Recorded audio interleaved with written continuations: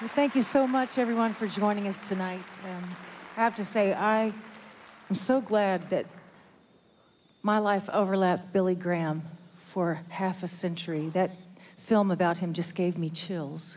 Yeah, man, that's a it's a beautiful thing to see that I had a chance to work with him. And when I walked into the room the very first time in 2000, and I walked in and I saw him sitting in the chair, I just kind of just you know just went to tears because if my mother was still living, and if she would have seen me working with Billy Graham, she would have said to me, "Boy, now you made it." So I'm just I'm just very you know it, it was it was a great time in my life. Yes. Um, Yeah.